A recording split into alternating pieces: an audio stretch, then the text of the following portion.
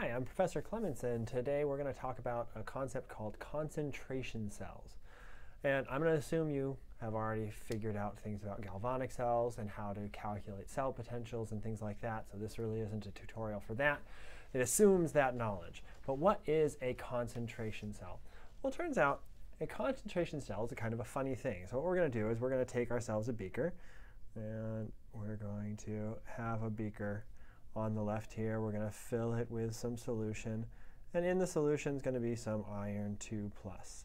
Now, in addition, we're going to put an iron electrode in here. So that's a solid iron electrode that we have on the left.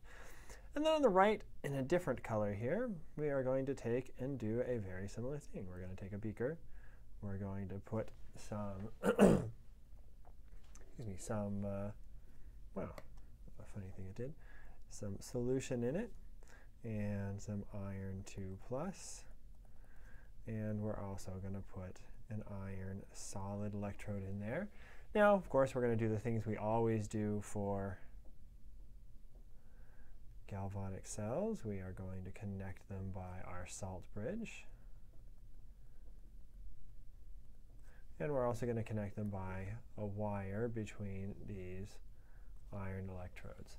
Now, if this were a voltaic cell or a galvanic cell, we'd expect electrons to start transferring from one side to the other and going from there to there. But when you look here, we've got the same thing on the left as we do on the right. So there's really nothing driving these electrons one way or the other. They don't really want to go to the left solution. They don't really want to go to the right solution because it's the same on either side.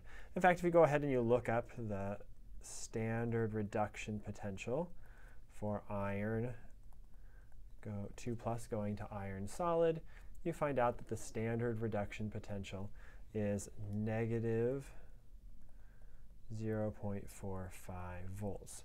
So if we wanted to try to calculate the cell potential here, right, it's going to be the cathode minus the anode. Now, of course, we don't really have a cathode or an anode here because nothing's happening.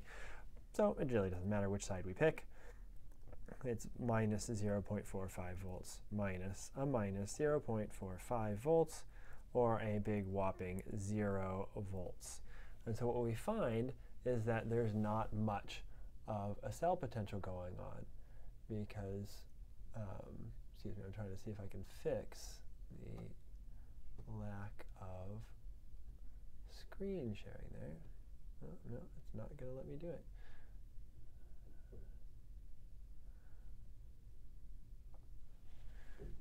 No, for some reason, my screen sharing's been turning off lately. OK, no screen sharing for me. OK, so we get a whopping 0 volts there.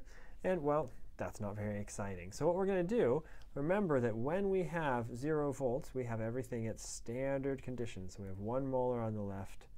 We have 1 molar concentration of iron 2 plus on the right. And what we're going to do is we're going to change that a little bit. So instead of having 1 molar on the left, I'm going to go ahead and delete that what I'm going to do is I'm going to change that down to 0.050 molar. So I've lowered the concentration of iron 2 plus on the left. I've kept it same on the right, so it's still 1 molar on the right. What's that going to do? Well, it might not be immediately obvious to you what it's going to do, but we also are familiar with Le Chatelier's principle. What does Le Chatelier's principle say? It says when you take a system at equilibrium, and the system was at equilibrium, it was just sitting there doing nothing, and you put a stress to it, it's going to try to undo that stress. And notice that the stress I did is I reduced the concentration of iron 2 plus on that side, which means that the system is going to respond by trying to increase the concentration of iron 2 plus on that side.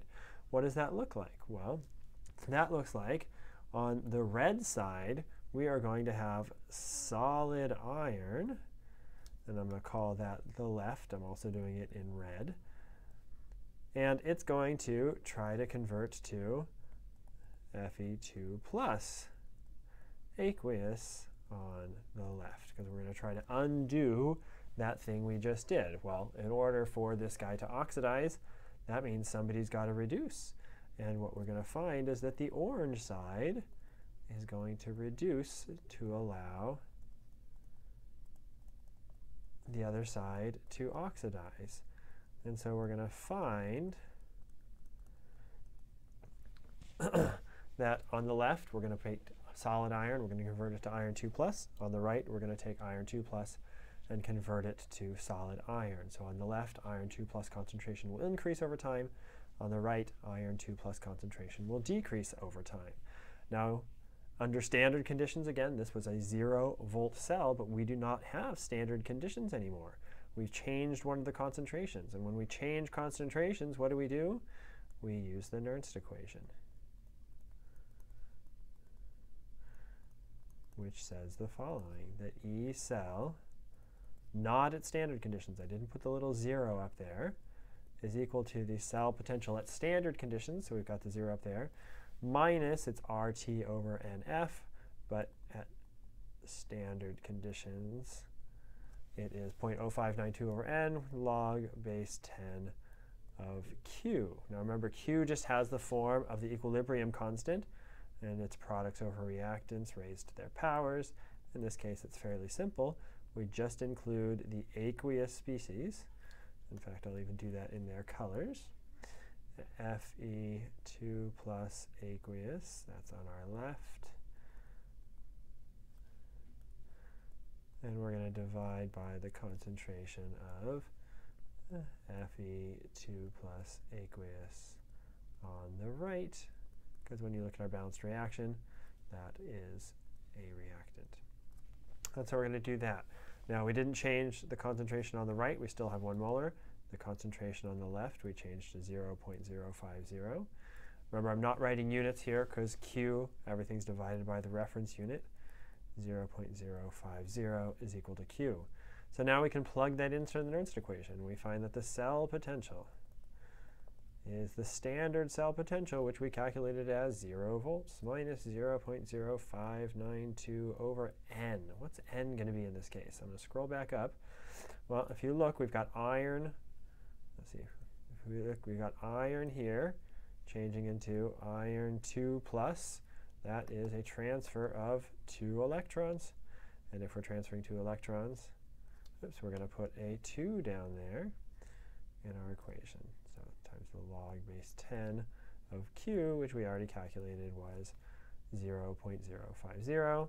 You plug that in your calculator, you get 0 volts minus, minus 0.0385 volts, which gives you a positive 0.039 volts. And that's what it looks like, 0.039 volts. And what we find is that this concentration cell, when we changed the concentration on one side, started to run because there was a difference in concentrations. Nature likes to balance things out when possible, and so this difference in concentration caused the cell to actually run, and we made a very small potential difference. 0.039 volts in this case is the voltage of our concentration cell. So I hope that helped you understand concentration cells a little bit, and uh, good luck with solving whatever problem you're trying to solve. Bye-bye.